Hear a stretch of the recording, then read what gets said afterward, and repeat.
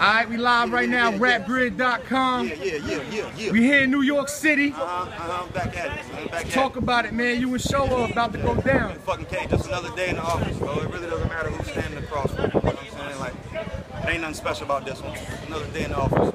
Now, yo, are you the number one battle rap in the world right Fucking now? Fucking right. I've been there for a long time, bro. So I'm glad- I'm glad people starting to come around. You know what I'm saying? I ain't a person to constantly do blogs and toot my own horn, but I'm sick of shutting down a room with big names on the card. Baby, every card you have me on with the best in the biz, I fuck that shit up, and that's real.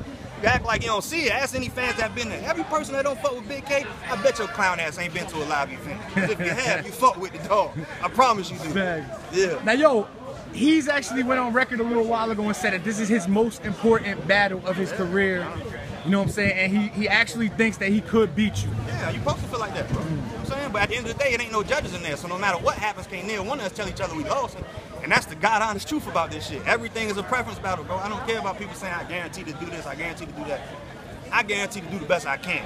Feel me? That's all I give a fuck about. The rest of that shit ain't. I don't give a fuck. That's what's up, man. Yeah. But yo, um, any last words before you hit that stage, man? Are you ready 100%? Yeah, yeah, I'm great, man. I'm Gucci, man. Another day. Maybe I do this stuff, man. Rapgrid.com, Bigg K, man. Heavy Bag TV, all that. We out here.